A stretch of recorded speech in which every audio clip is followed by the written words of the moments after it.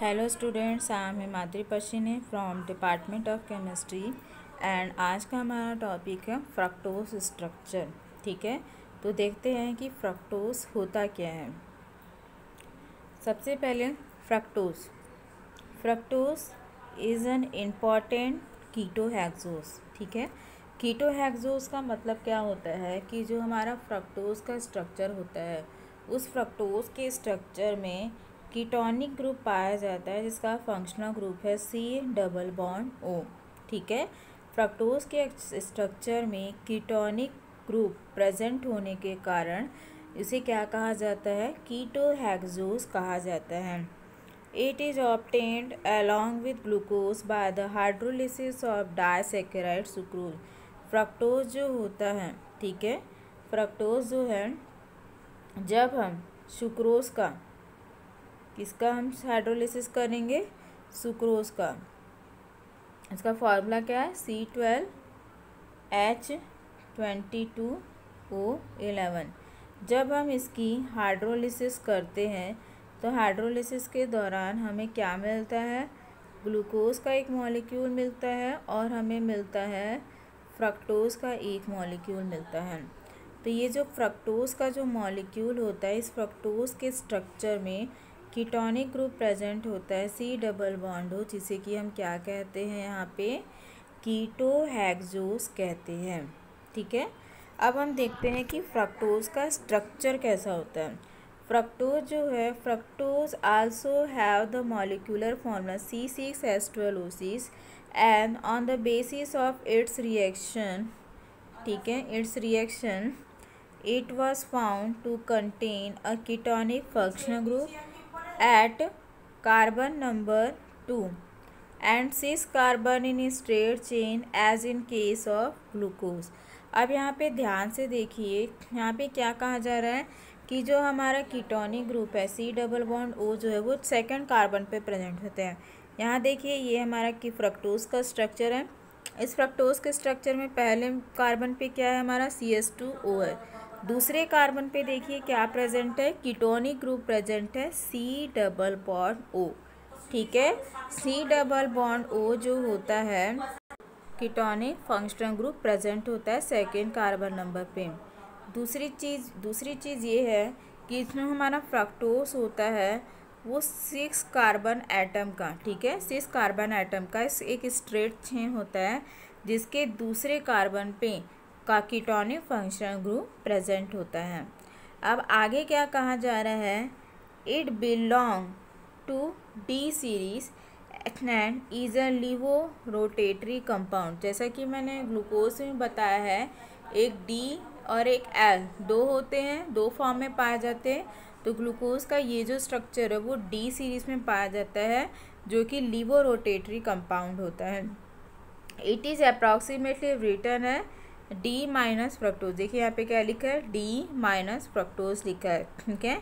Its open chain structure is an show यहाँ पे आप देख सकते हैं कि इस फ्रक्टोज के स्ट्रक्चर में जो है, हमारा छः कार्बन का एक चेन है, पहला, दूसरा, तीसरा, चौथा, पाँचवा, छठवा। अब इस ये छः कार्बन के चेन में मैंने आपको बताया कि दूसरे कार्बन पे हमारा कीटोनिक फंक्शनल ग्रुप है और बाकी के अदर कार्बन जो है वो कार्बोनिल ग्रुप से जुड़े हुए हैं। हाइड्रोक्सिल ग्रुप और हाइड्रोजन ग्रुप से जो एक स्ट्रेट चेन का फॉर्मेशन करते हैं, जिसके कारण इसे क्या कहा जाता है? डी माइनस फ्रक्टोज भी कहा जाता है। अब यहाँ देखिए it also exist in two cyclic form which are obtain by the addition of O H at C five carbon C five to the group ठीक है?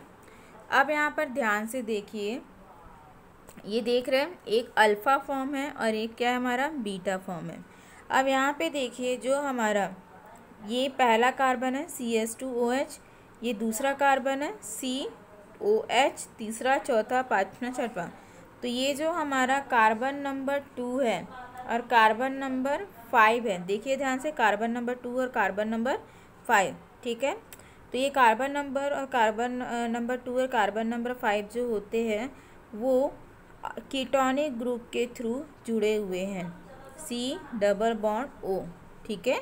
C double bond O ketonic group के through carbon second और carbon five क्या हुए हैं? आपस में connected है, जिसे कि हम अल्फ़ा फॉर्म कहते हैं।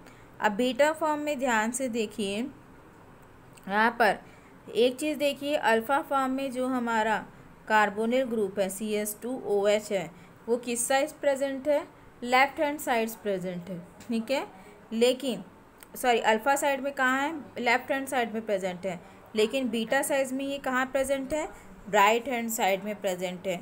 बाकी सारे कार्बन आइटम की पोजीशन क्या है? सेम है। इसमें भी जो हमारा सी टू कार्बन है और सी फाइव कार्बन है, वो C double bond of functional group के थ्रू क्या है? कनेक्टेड है।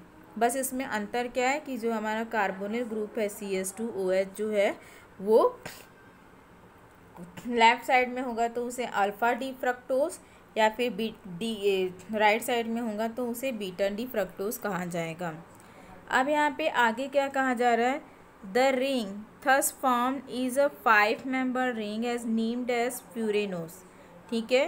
With analogy to compound furan furan is a five member cyclic compound with one oxygen and four carbon atom अब आप नॉर्मली फ्यूरेन का structure देखिए तो इस फ्यूरेन के स्ट्रक्चर में ये फाइव मेंबर्ड रिंग है। सबसे पहली चीज़ क्या है? ये फाइव मेंबर्ड रिंग है। ठीक है? दूसरी चीज़ क्या है? इसमें कार्बन कितने हैं? टोटल चार कार्बन है और ऑक्सीजन कितना है हमारा? एक है। यहाँ पे एक ऑक्सीजन का एटम है और ये एक, दो, तीन और ये चार कार्बन के एटम हैं। ठीक है? जो आपस में जुड़ के किसका फॉर्मेशन करते हैं? साइक्लिक स्ट्रक्चर का फॉर्मेशन करते हैं, जिसे कि हम क्या कहते हैं? फ्यूरेन कहते हैं।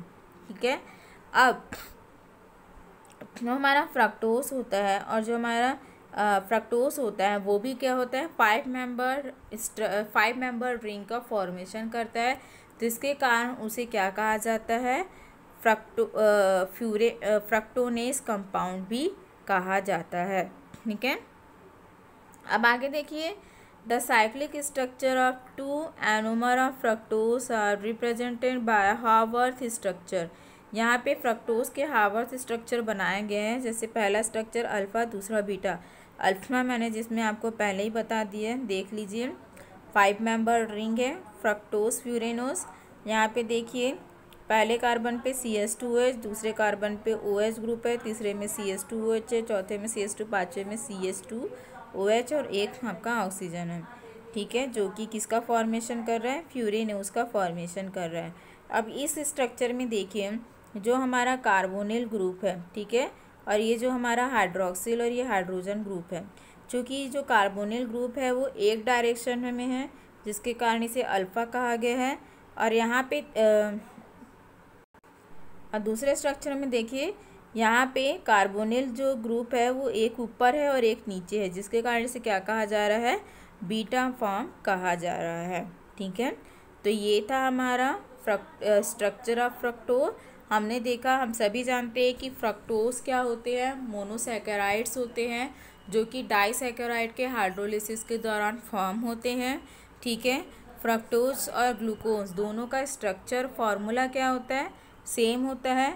लेकिन उनमें अंतर क्या है कि हमारा जो ग्लूकोज होता है, उसमें कीटोन एल्डिहाइड ग्रुप होता है और फ्रक्टोज में कौन सा फ़ंक्शन ग्रुप होता है? कीटोनिक फंक्शनल ग्रुप पाया जाता है।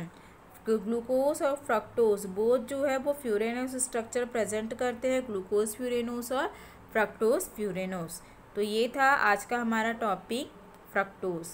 Thank you.